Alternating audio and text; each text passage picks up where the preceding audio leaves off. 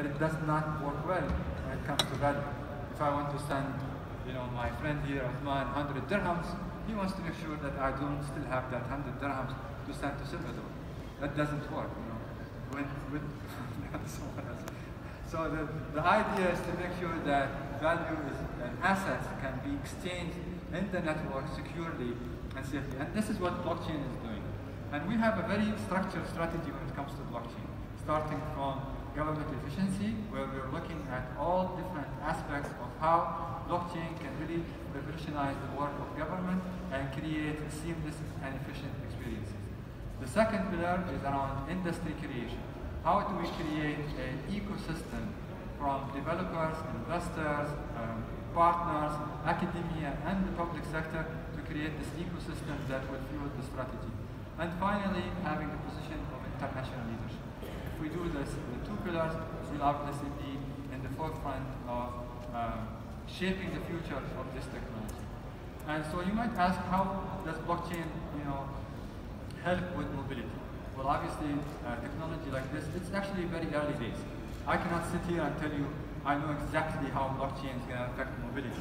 But there are actually many uh, companies that are already starting to look at how blockchain will do this.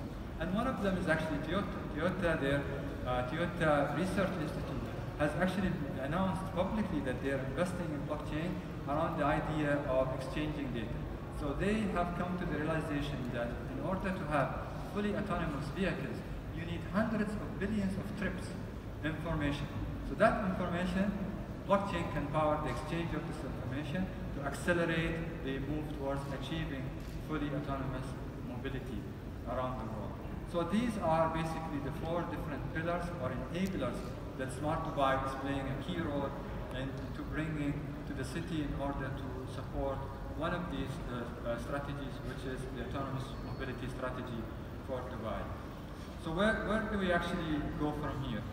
You know, we have 2020 is one stop, 2021, Expo, 2030 with autonomous mobility, and the list goes on. So our uh, leadership has set our goals very high.